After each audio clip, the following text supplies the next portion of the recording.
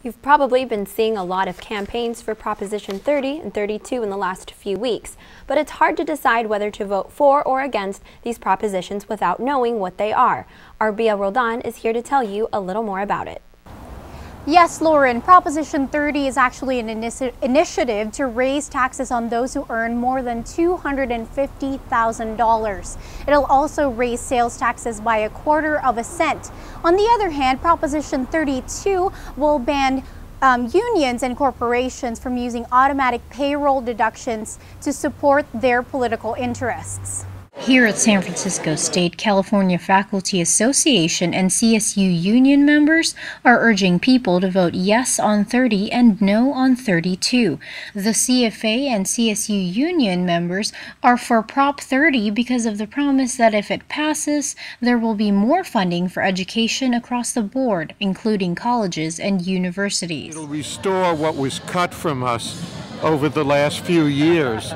But if 30 fails, we will lose additional money to the tune of millions of dollars to the CSU. But those who are against Proposition 30 say that more revenue does not guarantee that there will be more money for education. Smoke and mirrors. The LA Times says the higher taxes aren't really earmarked for schools, and the independent legislative analyst says the money can pay for other budget programs. No on Prop 30. We'll never know where the money really goes. Those who urge a yes vote on Proposition 32 say that it will stop special interest politics. The special interest killed a bill that would have sensibly streamlined how school districts fire child molesters and drug users. Don't be fooled. Special interests want to keep control of the politicians in Sacramento, and Proposition 32 prevents that. The CFA and the CSU union say that people should vote no because Proposition 32 only takes away the voice of union members and leaves loopholes for big businesses because corporations do not use membership dues to do their political advocating. They have huge funds that they can tap into, and it would only be unions that really would be blocked from having. They say students should care about these issues because they will be affected. And then it's harder for students to graduate because some classes won't be offered um, when they're supposed to be offered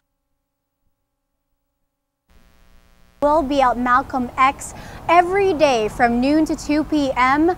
until the very last day before the elections. If you want to learn more about Proposition 30 and 32 and the other measures that will be on the ballot, you can go to the CFA voter information table or you can visit www.sos.ca.gov. Live at San Francisco State University, I'm Bia Roldan reporting for State of Events. Back to you. Thanks, Bia.